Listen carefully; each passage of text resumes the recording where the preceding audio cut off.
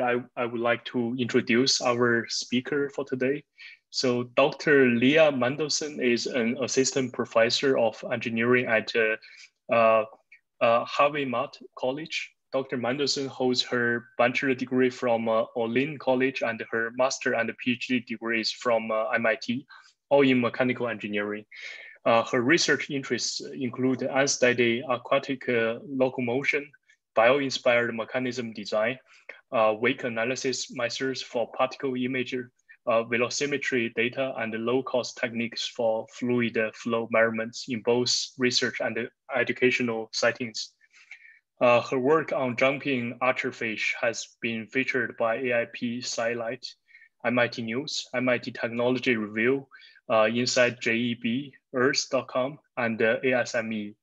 Uh, at ha Harvey Mudd College, Dr. Mendelson directs the flow imaging lab at Mudd uh, and teaches classes in solid and uh, fluid mechanics and engineering design. Uh, we are pleased to welcome Dr. Leah Mendelson and learn from her. Uh, so Leah, thanks for joining us today. Thank you, Sicheng. It's great to be here and to see so many familiar and so many new faces here today. One of the bright spots of the Zoom era is definitely being a little easier to connect with so many colleagues online. Um, much of the work that I'm going to be talking about today was done during my time at MIT. Um, but like many experimentalists who've been more or less shut out of our lab the past year, and we've also been digging into this data a bit more recently and able to draw some new conclusions and find some, some new insights even recently. Um, so the big idea of what I'm going to be talking about today is aquatic jumping. And so this is one of those things that like if you've watched a nature documentary, you've probably seen something in this category where um, aquatic organisms that jump out of the water just as kind of an entire class of behaviors showcase a lot of extreme performance. It takes a lot of propulsive power and depending on that organism's goals for jumping, maybe a lot of accuracy or a lot of speed in a, order to pull off that behavior.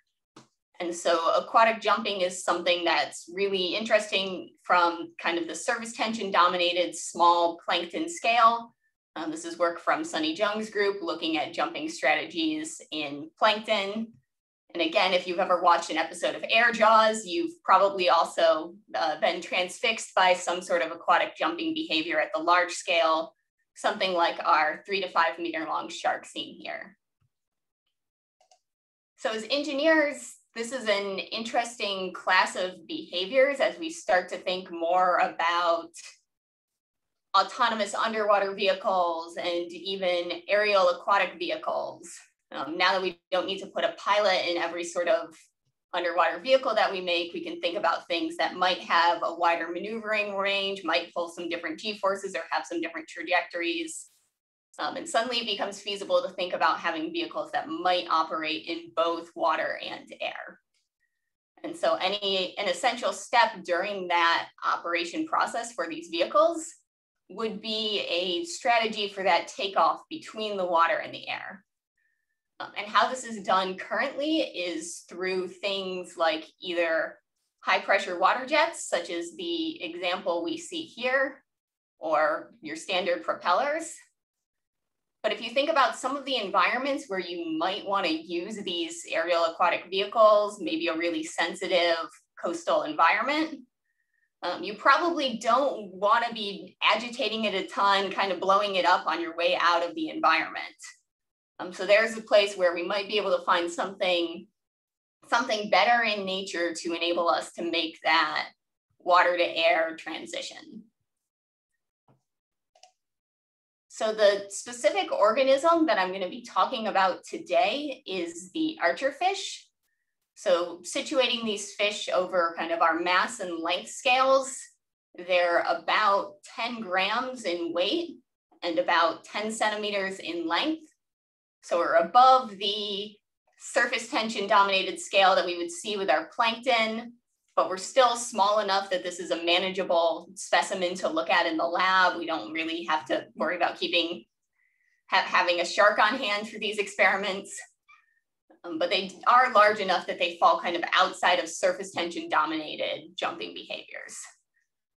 So if you've seen an archerfish before, what you've probably seen it do is the behavior that it's named for, which is its ability to spit a jet of water out of its mouth to hit some prey that's some, some distance above the water's surface.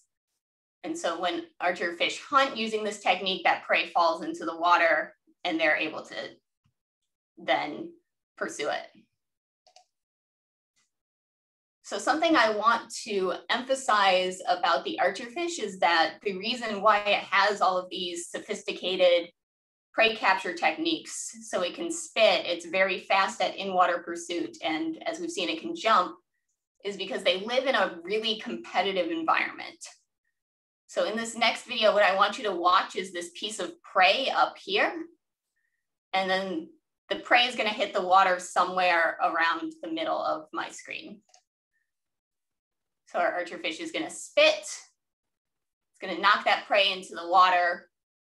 And you'll notice that the fish that actually expended that energy to hunt, expended that energy to spit at the prey, wasn't actually the fish that got to then uh, eat the prey.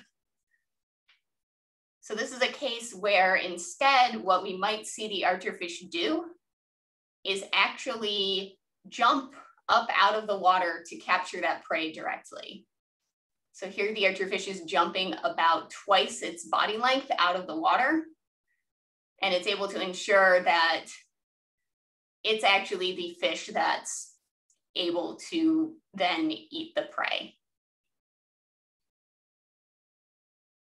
So before we get too deep into the hydrodynamics of this behavior, I do want to emphasize that this is a specialized swimming gait for the archer fish. It's not just taking its standard acceleration maneuver from when it's in water and using that in the air instead.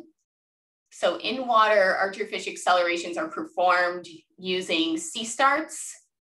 And the work by Wohl and Schuster showed that they basically execute the same C start. So when they bend their body into the C shape and then uh, rapidly straighten it back out for both escape responses and for prey capture. Um, and some follow-on work on in-water prey capture and archerfish has also shown that they can steer and control the speed that they leave the C start with, with kind of the bending rate and the curvature of the body during this maneuver. Um, so this is not what the archerfish is doing when it's jumping. And this makes sense. We can think of a few reasons why a C start wouldn't be a desirable swimming gait to use when jumping out of the water. I've mentioned before that this is a prey capture behavior, so it's really important that the fish is able to see where the prey is the entire time it's making that jump. It's also likely that our C start is, since it's a full body maneuver, is less effective when half of it is in the air instead of in the water, since you're not pushing against the entire fluid domain. And again, the fish is doing this jump to be able to successfully capture prey. So if it's making really extreme displacements of its center of mass, um, when that fish is in and half in, half out of the water, you can think of kind of an inverted pendulum effect there. Um, there's definitely a greater likelihood of some, some instability. So breaking down this specialized jumping gait into a few key features, the first thing I want you to notice about this behavior is that it's initiated directly at the surface. The fish's snout is always either just a little bit above the free surface or directly below it. And it's in that position so that it can sight prey, it can aim, but this isn't a jumping behavior where there's any burst swimming that happens beforehand. If we look at kinematics right around jump onset, we see there's your kind of characteristic traveling wave kinematics of the fish, but then there's some activity from additional fins as well. So we see that the pectoral fins, for instance, are, are abducting and adducting, so extending outward and inward during this jump initiation. the next thing I want you to notice, as mentioned before, is that this is a primarily vertical jump. So the fish isn't really moving side to side a ton. It's basically eyes on the prize the entire time going out of the water. And in a kinematic study, we also found that this behavior is very accurate. So over 70% of the time, over a course of about 100 jumps in five fish, we were able to observe the fish successfully reaching its prey. So for the remainder of this seminar, I'm going to be talking about work in three main areas, looking at the archerfish. So first, I want to talk a little bit more about this jumping prey capture behavior, some of the kinematic trends that we've seen, as well as some work looking at the hydrodynamics of how this fish is using all of its fins that we did using some two-dimensional particle image velocimetry Next, we're going to take a brief detour into talking a little more about 3D PIV techniques and experimental methods, and specifically how I built a 3D PIV system that we could use for near body and near free surface measurements, which we'll see is really crucial to being able to understand what's going on with some of the archerfish's fins.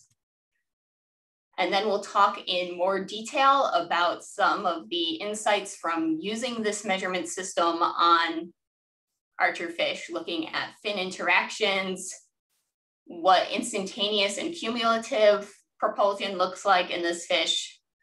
And we'll finish by looking a little bit at the pectoral fins in particular.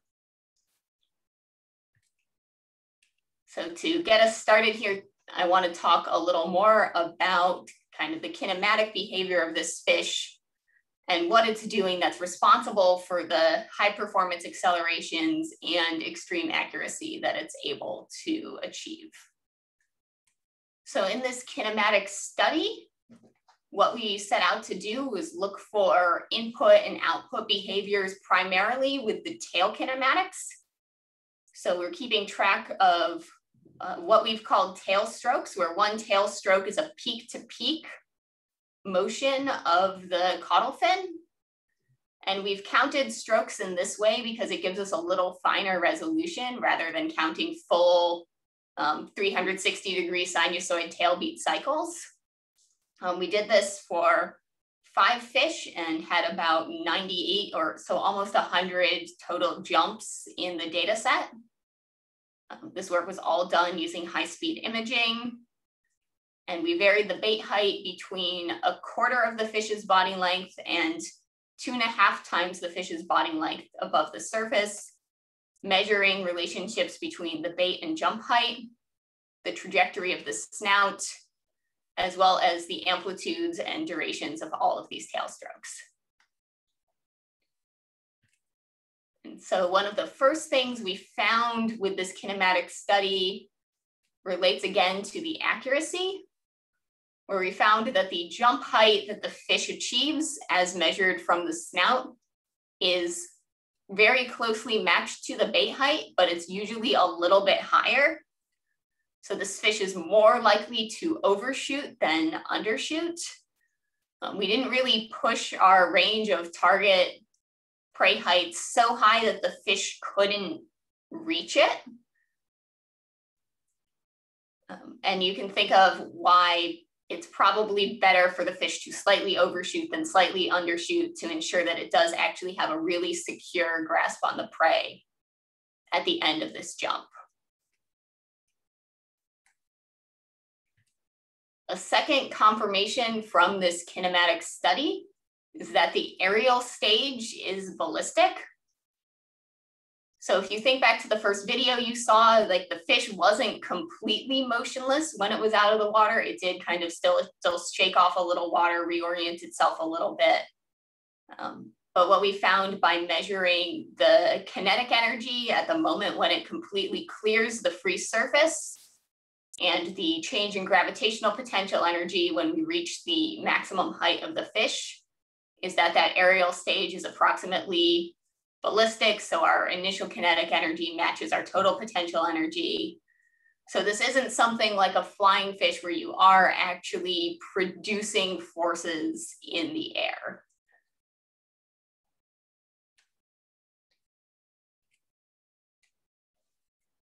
So looking at how the fish sets that exit velocity before it leaves the water, what we found is that these tail beats we can think of as basically a discrete unit of propulsion. So each time the fish is flapping its tail back and forth is going to correlate linearly with an increase in the jump height that it's achieved.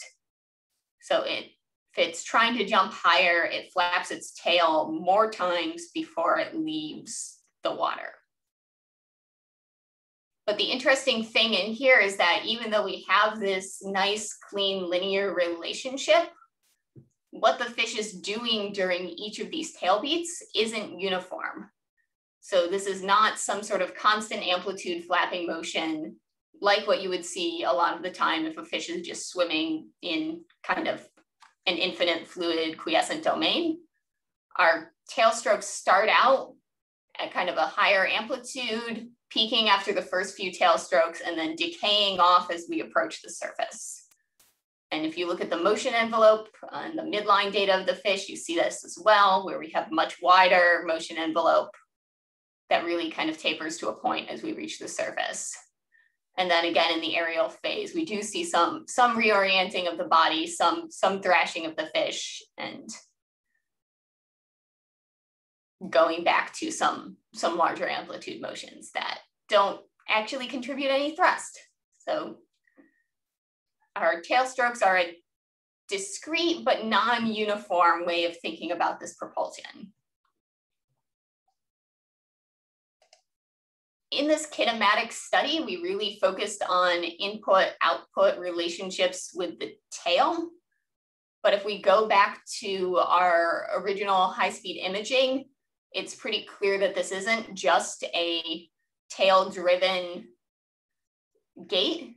So if we look at what's going on using high-speed imaging, we have activity from the caudal fin, as I've mentioned before, but we also see the same traveling body wave moving through the anal fin. So this is the large fin on the underbelly of the fish and the dorsal fin. So that's your jaws fin on the back of the fish, as well as from the pectoral fins, which are sort of the arms of the fish that uh, sweep out and then kind of down as we go through this jumping behavior. If instead of looking at high-speed images, we look at morphology, we see a lot of motivation for wanting to consider multiple fins in this scenario as well, where what we see is that the median fins, so the anal fin and the dorsal fin, are very close to the tail and have comparable surface areas. So if you think of your force producing ability as proportional to area, it seems likely that we would have some contribution, especially from the anal fin because it is as large area wise as the tail. And then the archerfish also has a lot of the fin features that have been shown to give really fine scale control so fin rays enable the archerfish to control the, the curvature of these fins and spines. And so the thicker rays at the front of the fin give the archerfish the ability to control how flat against the body or extended these fins are. And we see that during the jump, these fins are extended.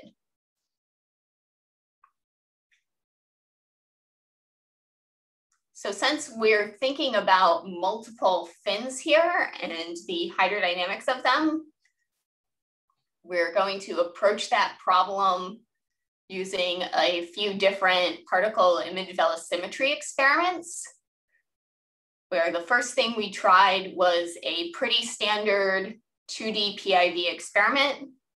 So we have a laser sheet below the tank and something I want to highlight about this experiment setup is that the wavelength of this laser is in the near IR range.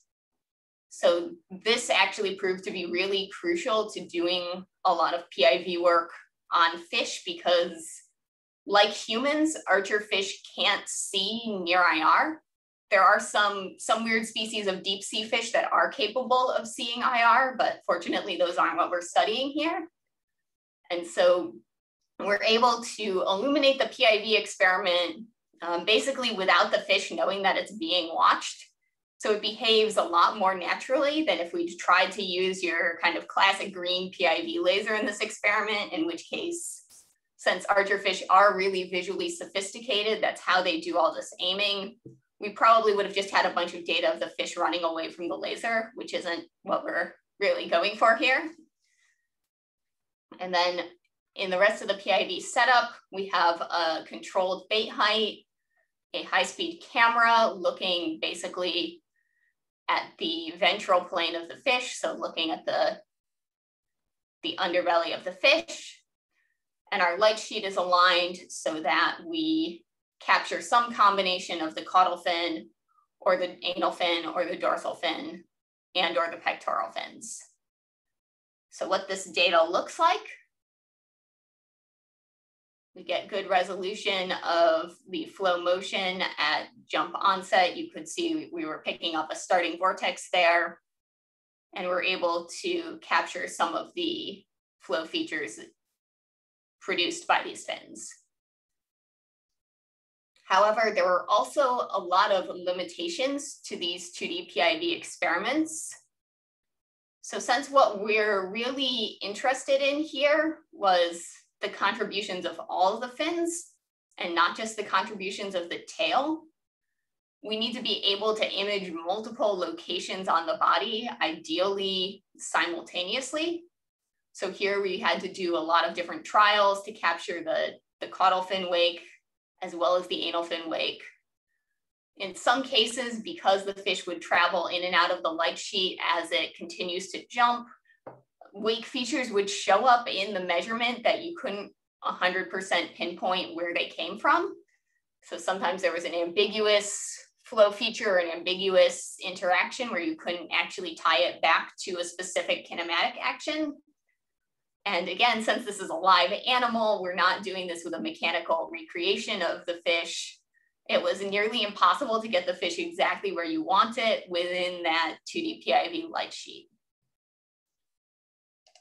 And so the solution that lends itself to resolving all of these experiment challenges is to instead perform three-dimensional volumetric measurements on the archerfish. So at the start of this talk, I mentioned that we were going to take a brief detour from fish in the middle to talk a little more about 3D PIV techniques and specific changes to um, the, the standard 3D PIV technique used in, in our lab to facilitate studying jumping archerfish. So we're going to, to move into that section of the talk now. The underlying principle behind the 3D PIV technique that I use is synthetic aperture refocusing.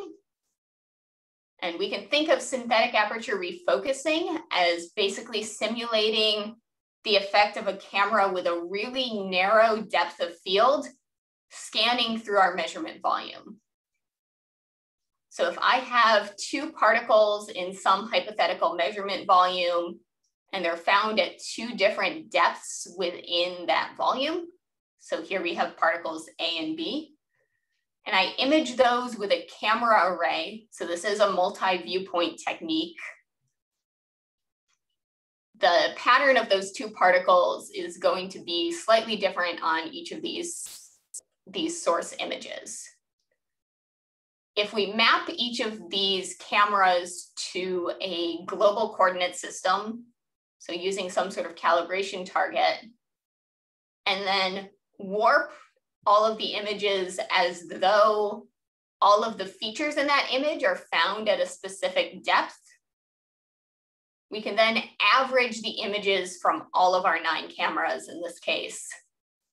And what we'll see is that where that particle is actually found, that that set of warped images will converge. So we have this nice bright coherent particle here at Z1 and a similar one at Z2. Whereas if our particle isn't actually found at that depth, instead we'll get this constellation sort of shape that's roughly in the arrangement of the cameras of our array, and it will be much lower in intensity. And so initial synthetic aperture refocusing experiments done by, done by Jesse Belden and a few others showed that you could remove this low intensity kind of background, um, what we've called a discrete blur via some sort of intensity thresholding.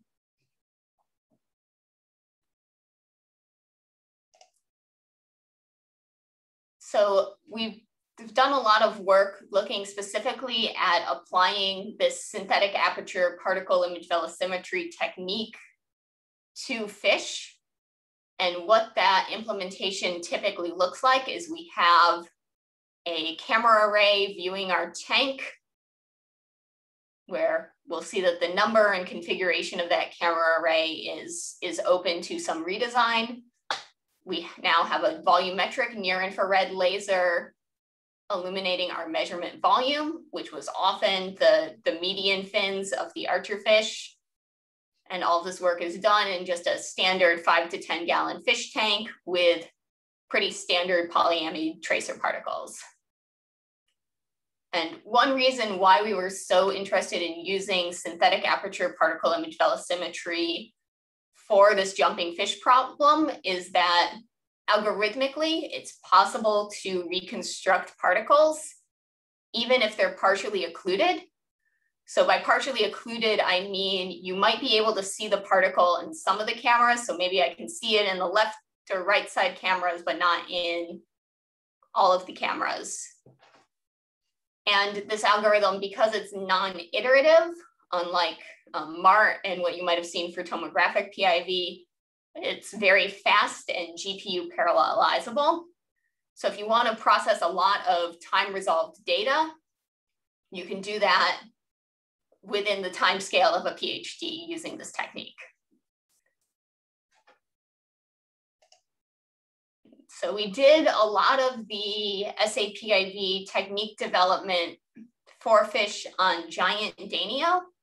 So when I say giant, I mean uh, centimeters instead of uh, instead of millimeters long here. So giant Danio are basically slightly larger zebrafish. And this is a fish that's been used in particle image velocimetry studies of fish swimming for a long time. So if you want to think of zebrafish as sort of a, a model organism in the fish a set of species. You can think of the giant Danio as sort of a hydrodynamic model organism where it shares a lot of those attributes, but it's a little larger and a little easier to image. And so we demonstrated that we could use synthetic aperture PIV to resolve both um, sort of Kármán Street style wake structures during forward swimming, as well as time resolved measurements. So here you're looking at a 50 degree turn that the fish is executing. So we've, we've demonstrated that this technique is able to resolve fish wakes satisfactorily for the type of problems we want to look at. A few fish specific things that we need this experiment technique to be able to do. We need to be able to separate the body from the tracer particles and this is important both to have some sense of where the body is in the flow, as well as to ensure that anywhere where we have, say, a body reflection or body motion, that body motion isn't uh, corrupting our flow velocity field. When we do our cross correlation for our PIV, we want to only be measuring the particles. So we do this segmentation of the body using the visual hull method, which was developed by uh, Deepak Adhikari and Ellen Longmire originally for tomographic PIV.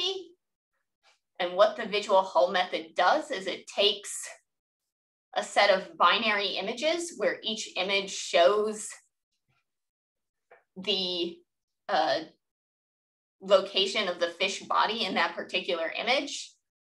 And then we refocus all of those binary images over the same range of focal planes, so the same range of depths that we were using for our particle field reconstruction. So you see that at negative two millimeters here, we get one of the tips of the tail. At six millimeters, we get the other tip of the tail, and we're starting to get some of the caudal peduncle and getting into the body of the fish. And then we get more of the body and the rest of the caudal peduncle at a depth of 14 millimeters.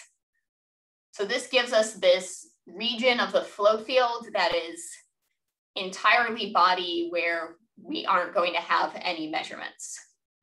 Something I want to point out about the visual hull is that it's also includes what's known as the shadow of the visual hull. So you'll notice that this is tapering to a point here.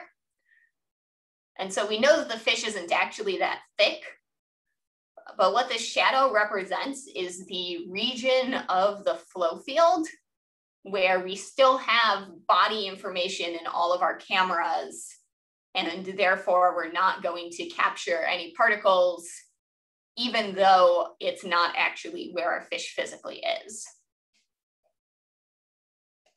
So since the visual hull is an overestimate of where the fish body is, it's very helpful to also do some point-wise tracking of different locations on the fish body. This is what's also going to enable us to map some of the kinematics and hydrodynamics that we're gonna look at later. And so to do that body feature tracking, we first do some image processing to remove particles from our images. And then we track the body points in some subset of our camera array. So in this case, just using the outermost cameras because there's not really any advantage to using more. And then if we back project all of these points that we've tracked, taking into account the refractive interface of the water. So we're not using a linear transformation here. We're actually propagating this through the refractive interface. Um, we can determine our 3D position and our kinematics. So here we see we get good resolution of the caudal fin orientation and the amplitude and orientation of the tail beats, as well as the trajectory of the anal fin. And in this case, we also tracked the, the pelvic fin, which is the other smaller fish fin on the body.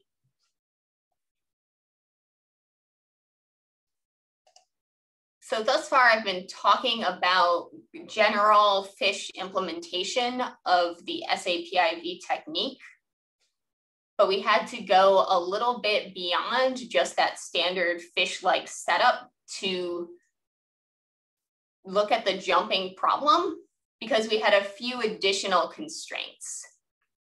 So first, it's really only useful to measure the hydrodynamics of this behavior if we can relate it to performance. So we needed to be able to keep track of the aerial trajectory of the fish. So this basically required reallocating a couple cameras from our underwater viewpoints to our aerial viewpoints. And second, we wanna be able to make these measurements really close to the free surface and so we wanna make sure that our cameras are still viewing our measurement volume through the side tank wall and not kind of top down looking at the free surface. Because reflections at the surface will limit our ability to, to reconstruct really close to the free surface. So what this meant in implementation was that we had limited vertical spacing for the cameras that we were going to be using for PIV, as well as fewer cameras.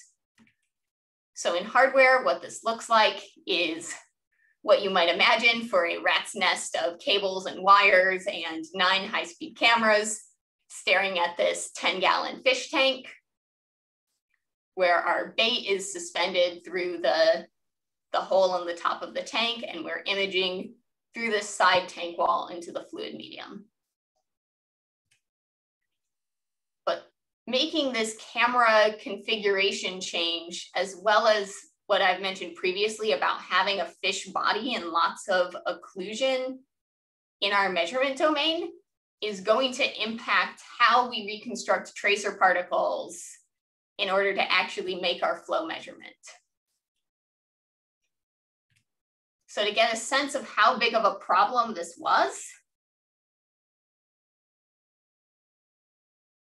I want to look at an example where the visual hull is constructed using the seven camera array system. And I want to apologize if there's some, some weird display effects happening here. I can't tell whether it's on my side or on the screen share side, so I apologize if things are a little weird. Um, but what you should see on this slide is that we have a lot of partial occlusion. So we have our region that's body in all of the images, and that's what becomes our visual hull. But then we have this much larger region where over half of our cameras are occluded. And this is really important for the archerfish problem because as I mentioned before, what we want to characterize is really fin interactions and multi-fin behaviors. So we want to get the best measurement near the fins that we can in order to do that. The second thing I want to highlight here is that our standard warp average and then threshold out the low intensity particles doesn't necessarily lend itself to reconstructing partially occluded particles.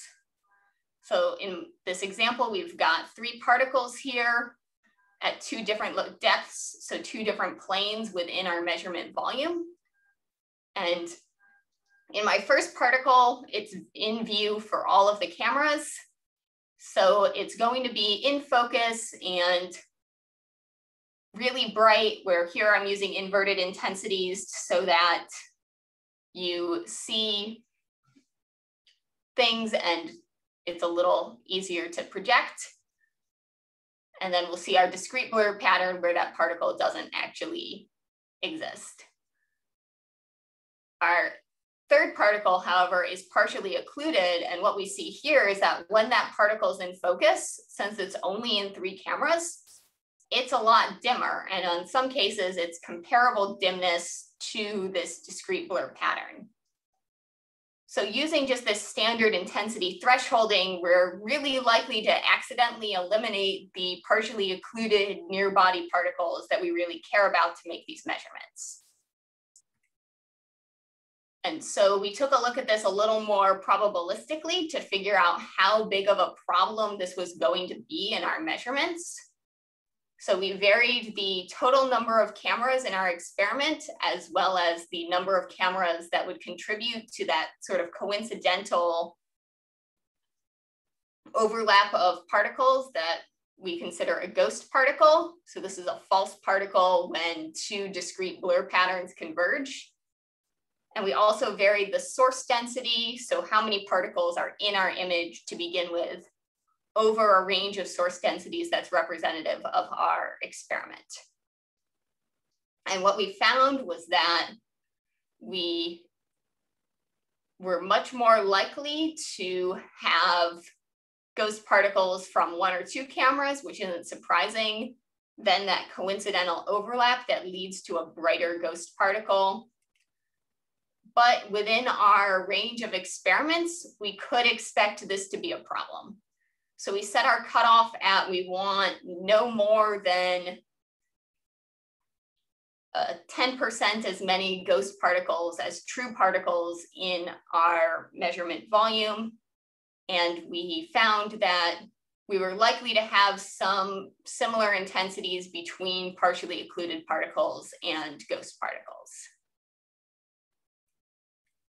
And so the way that we ended up overcoming this limitation was to look at some different non-iterative algorithms for particle reconstruction. And so these non-iterative algorithms typically require all of our cameras to successfully reconstruct a particle where the minimum line of sight warps all of our images and takes whatever the minimum value is as our true value. And the multiplicative line of sight takes the product of all of those images as the total reconstructed value. So if we have any images that don't view a particle, either of these is gonna zero out. Um, however, we can actually implement the minimum line of sight here if we make a couple changes to how we handle the mask during PIV reconstruction. Where the most notable change here is that we're gonna flood the mask region instead of blacking it out. And we're gonna make sure that our intensity is really normalized around the rest of the image. So in implementation, what this looks like is if we start with our raw image and our binary mask of where the fish body is in that image, we'll take both a bright masked version of the particles for uh, reconstructing our particle volume for PIV. And when we refocus that, we see that we do have particles right up to the body. Unsurprisingly, by having fewer cameras, we also increase our likelihood of having, having a little more noise there, but we do have particles all the way up to the body. And we'll also map out our partial occlusions as I showed before. So keeping track of the number of cameras that see a location versus the number of cameras that can't see a location and we'll set some cutoff for what is an acceptable number of cameras seeing a location. Um, here we use slightly greater than half. And so what this does is it gives us a particle volume where our overly occluded regions still get masked out, but then we do maintain more near body particles at comparable intensity to the other particles than we would with that warp, average, and threshold algorithm that I first introduced you to. So putting all these measurement pieces together, I'm going to use an example here that's a 1.7 body length jump by our archerfish. And the video I'm showing here is what our center camera is seeing. So it initiates the jump, you see the particle motion, and then the fish leaves the measurement volume. And what our measurement technique resolves here is we capture that starting vortex and the following tail beats, as well as a simultaneous three-dimensional trajectory as the fish makes its way out of the water. And if we continue our motion tracking as the fish is in the air, we're able to basically capture the mouth opening and then the mouth closing on the prey.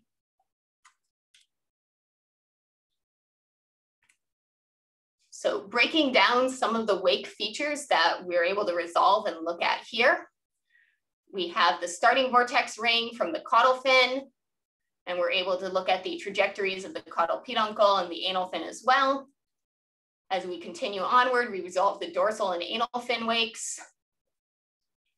We resolve the dorsal and anal fin wakes again during the next tail beat, as well as the interaction of the tail with the previous wake structures.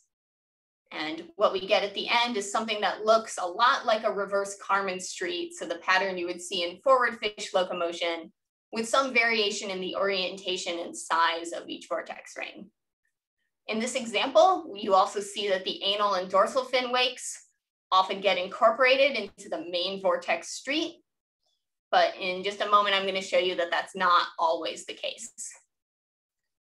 So to finish up here today, I want to take a look at some of the insights into fin interactions and fin utilization that our measurement techniques enabled and how that relates to different strategies the archerfish might be using for jump control.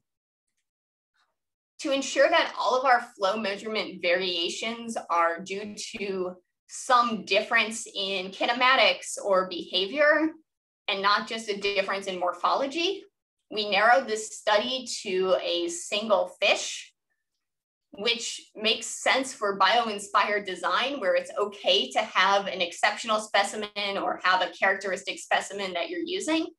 But I wanna highlight that this anything I'm presenting here shouldn't be considered definitive comparative biomechanics because we did narrow our focus to just one specimen. But what we did find out about this specimen is that it's very similar to all of the specimen we did our 2D kinematic study on before. We still have jump heights slightly above bait heights. It overshot in a very similar frequency to our previous fish. And we still had a linear relationship between the number of tail beats and the jump height.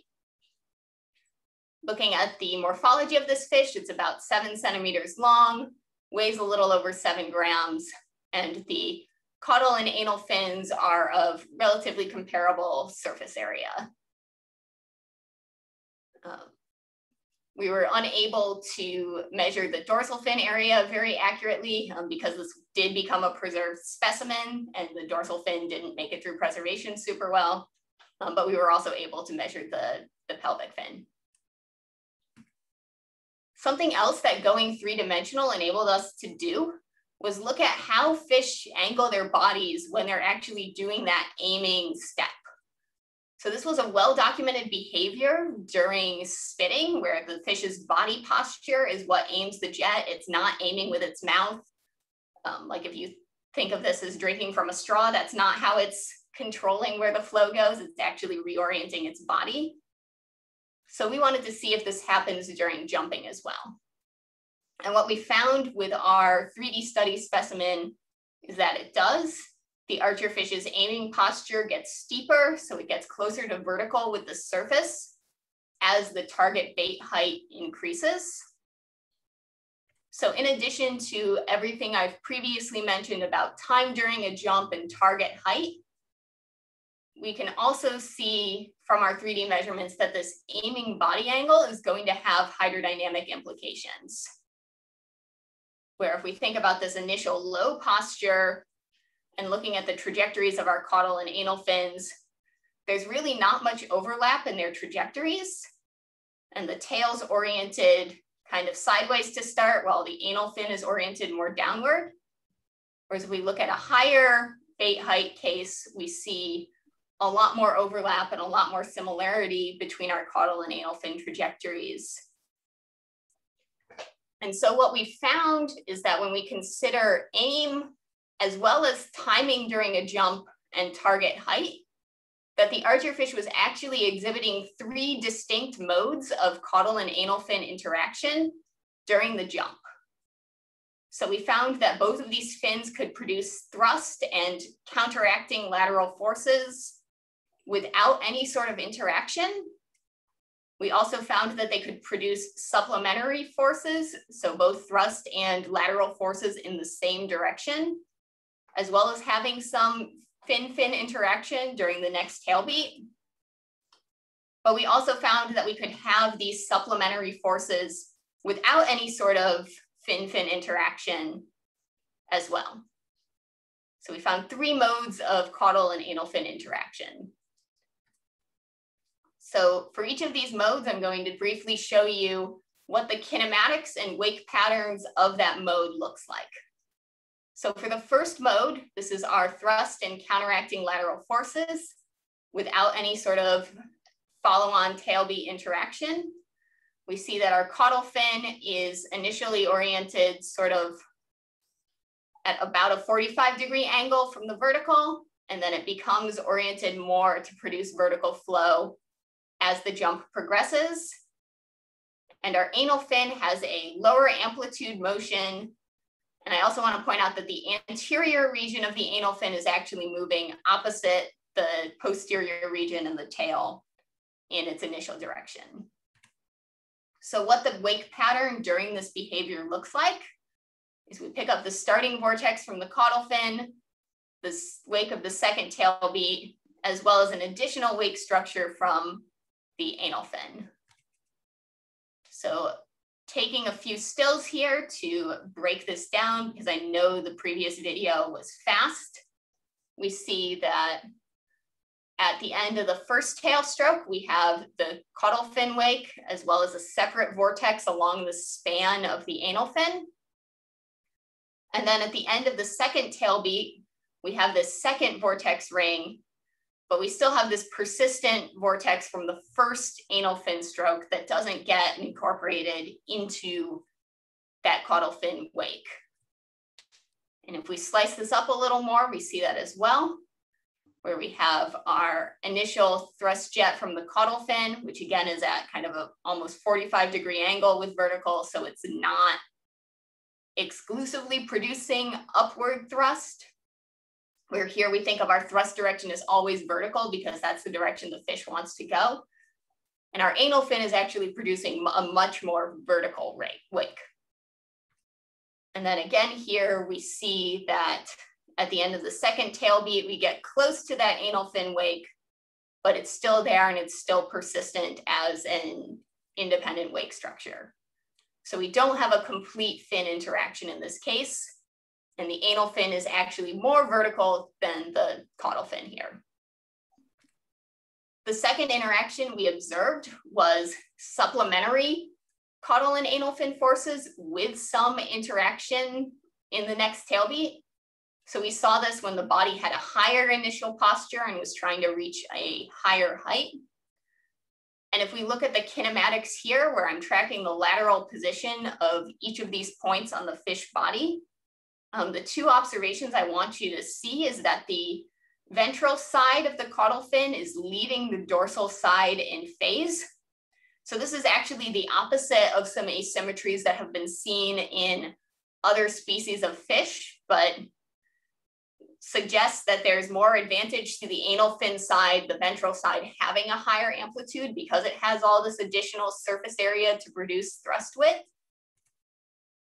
And the other interesting thing to see from the kinematics is that the phase difference between the posterior anal fin and the tail is very similar to what's been reproduced in mechanical systems of tandem hydrofoils of similar spacing, so similar proximity to each other, where you do see a high thrust pattern from the second hydrofoil, or in this case, the tail, at a, at a similar phase lag to what you're seeing here, as well as a merged thrust jet from the combination of the two fins behind the second propulsor.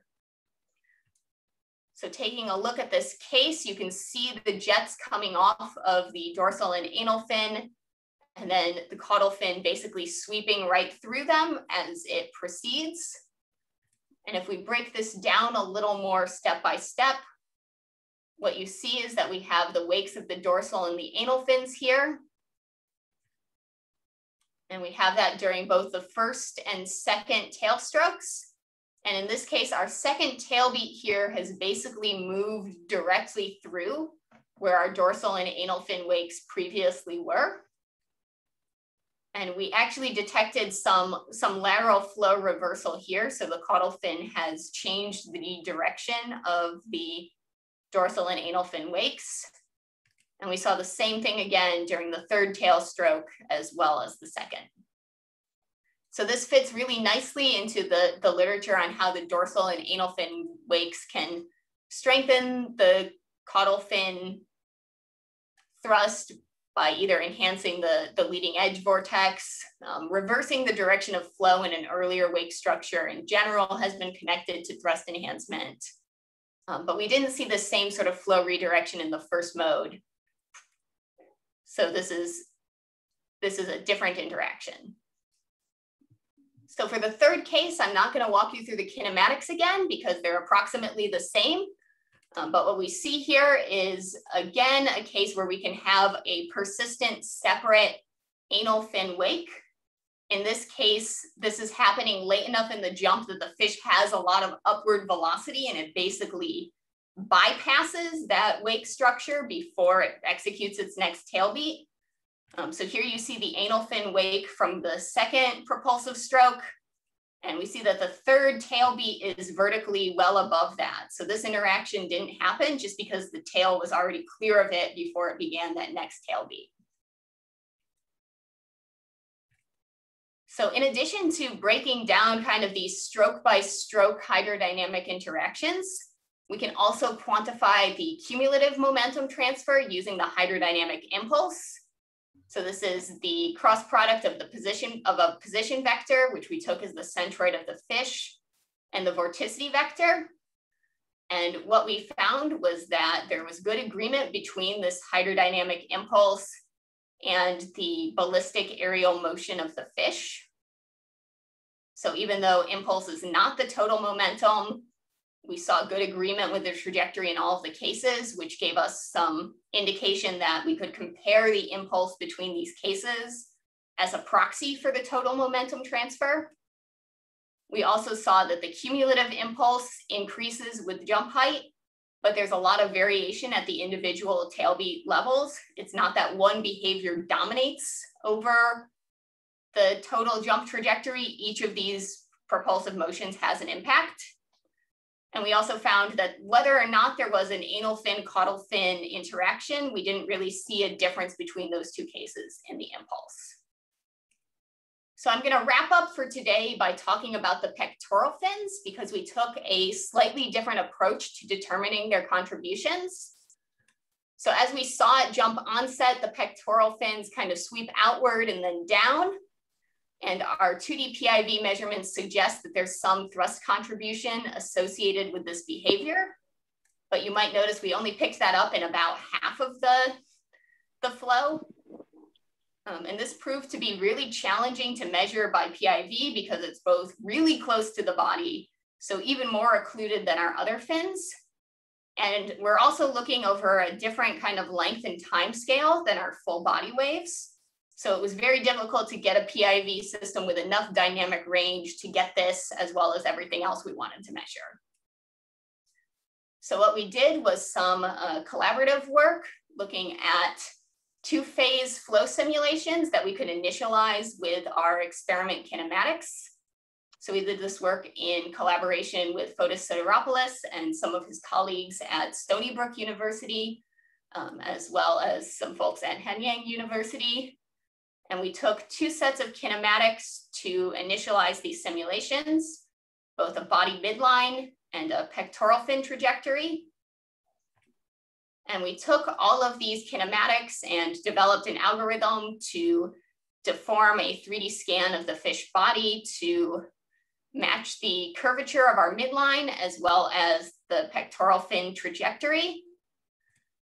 And we found we had really good agreement with earlier PIV experiments from these simulations.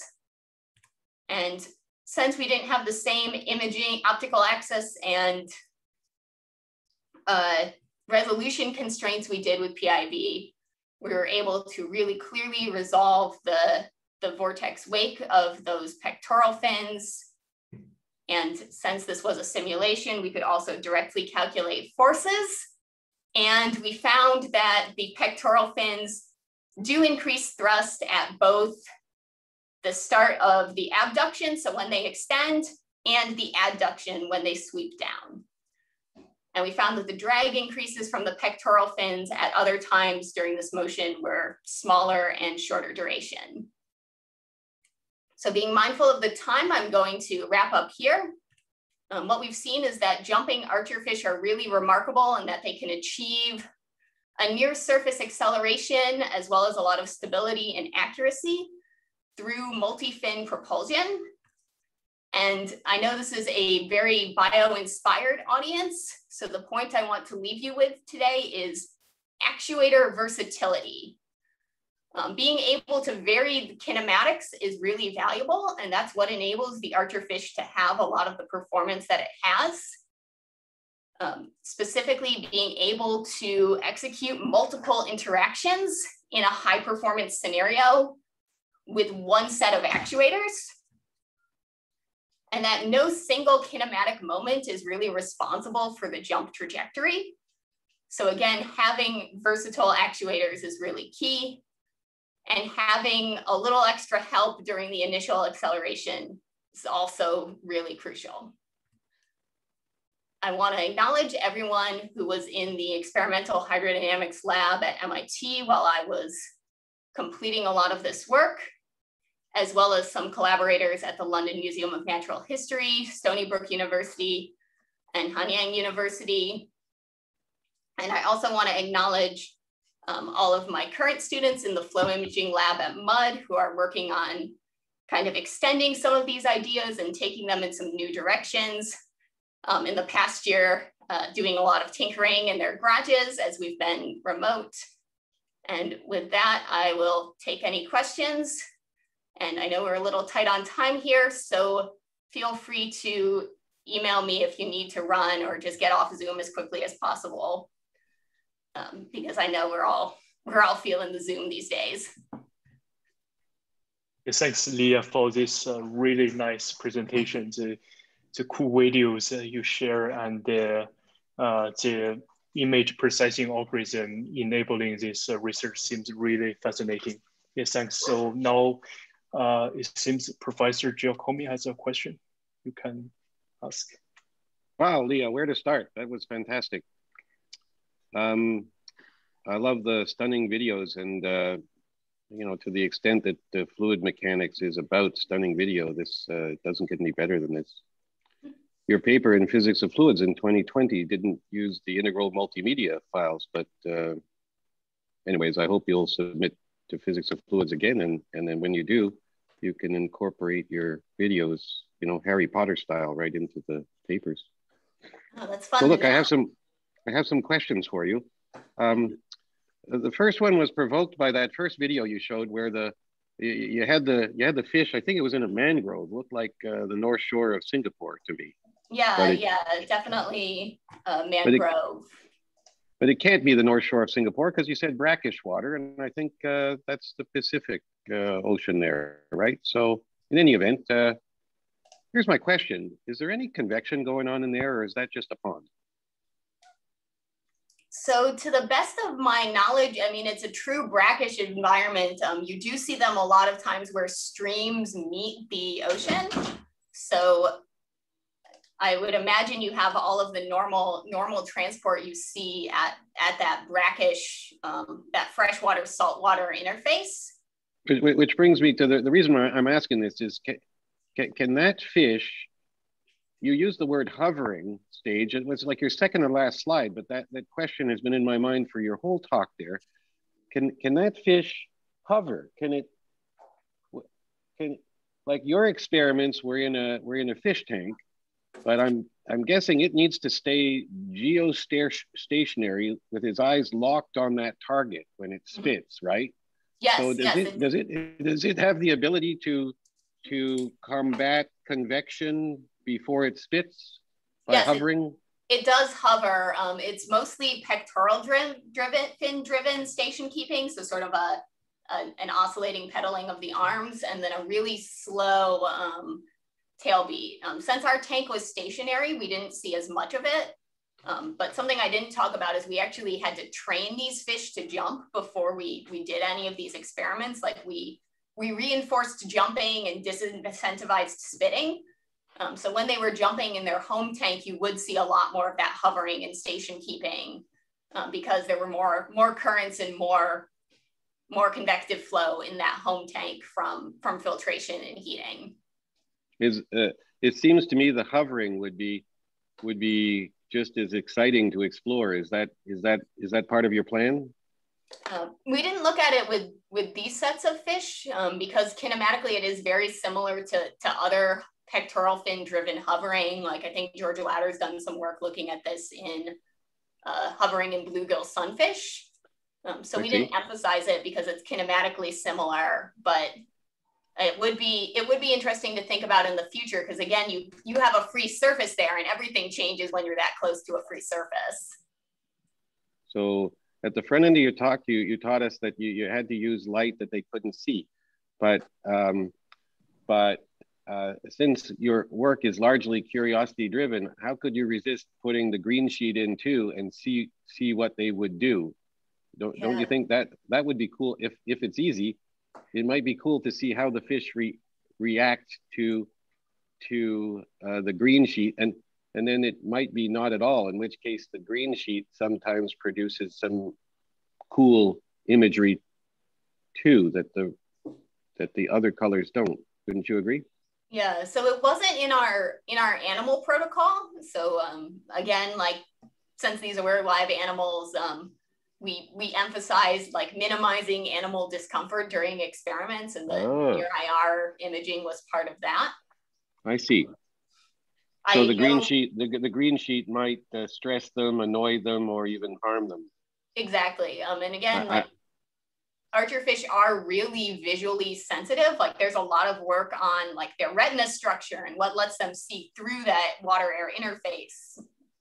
Um, so we definitely weren't going to risk risk doing either harm or provoking the fish with this this harsher light source.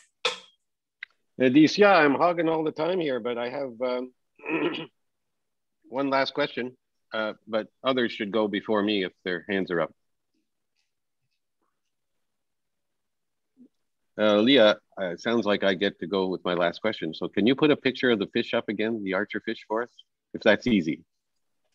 But I believe I spotted the, there's another fin. I, you may have mentioned it, but isn't there a, there's another fin on this thing, isn't there? there...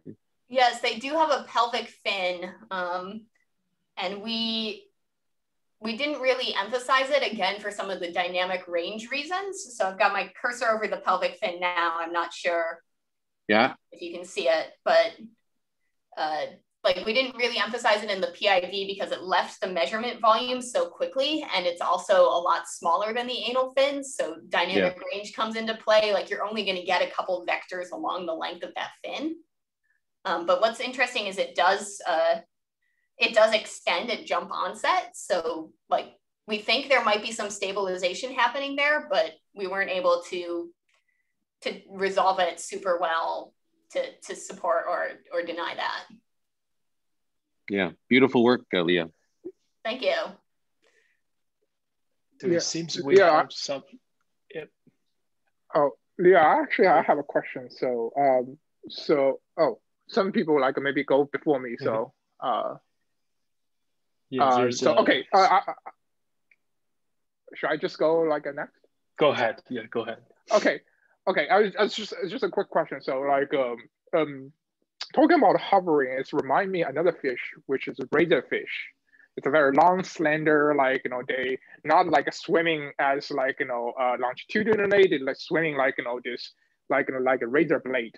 So mm-hmm. the way they, they, they change their position and the way they like maneuver, they actually find that they actively change their like center of mass by like changing the like you know the the the the the uh, the, uh, the the air in their body like you know, accordingly. So uh, that's also the question. Like when I when you mentioned that the razor, uh, sorry, archfish, like when they close to the free surface, they're basically stationary being there, and they also can change their body angle. Um, it's more like a dynamic, like like you know, balance, or they also change their body internally, something like to actually like distribute their weight or distribute their points, like you know, center points. So in a way to keep like a certain certain position. So. Yeah, so they, they do have a swim bladder. Um, we we weren't necessarily able to measure how active that swim bladder was during um, during hovering, but but it's certainly possible that there was some activity there. Um, the time scale of the hovering is just a couple minutes though. Um, so depending on how quickly it can execute a buoyancy change um, would be would be interesting to think about there. Um, clearly we just need to do some some x-ray imaging on top of our nine high-speed cameras so that we can get the swim bladder in there too okay it's not that difficult right so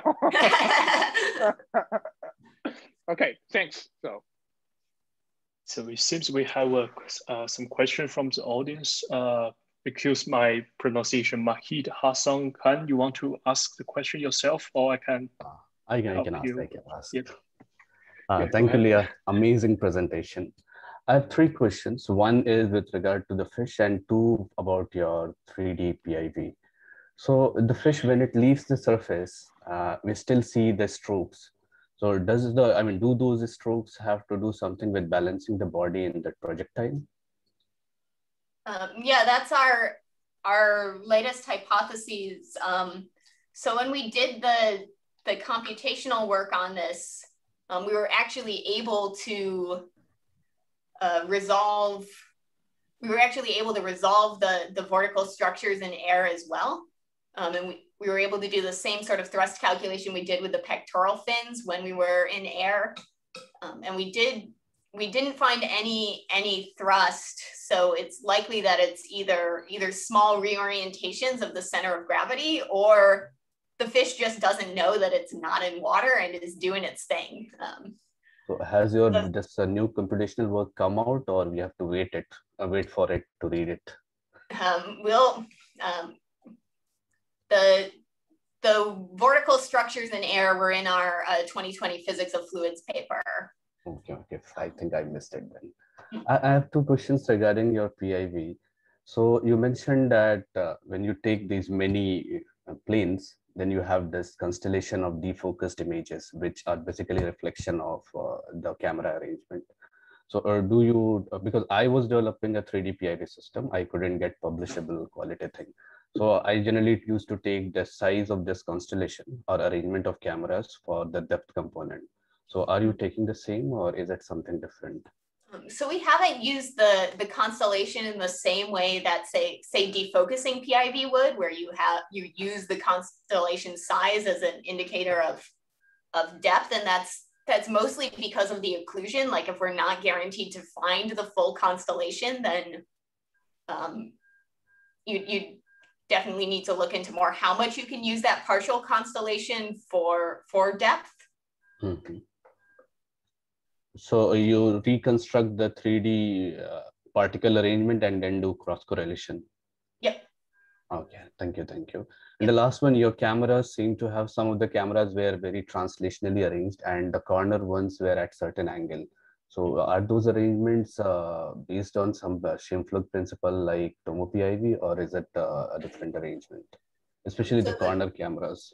Yeah, so the governing principle is uh, baseline spacing, so just distance between cameras. Um, and hmm. that's in uh, Jesse Belden's 2010 paper on kind of the, the principles of synthetic aperture PIV. Mm-hmm. Um, we don't use a Scheimpflug adapter. Instead, we just typically um, set our F number such that we have enough depth of field that we don't get, we don't, we don't necessarily run into the, the limitation of of being really off axis. Ah, nice, nice. Thank you. Thank you. An amazing presentation. Thank you for the presentation, sir. Hey, so any more questions? Okay, so if no more questions, uh, then let's uh, thank Leah again for his uh, for her great talk, and uh, we will meet uh, for the next week. Right. See you guys. Thanks, Leah. Say Thank hi to all. Jacob again. Say bye bye. Thank you, Leah. Thank you.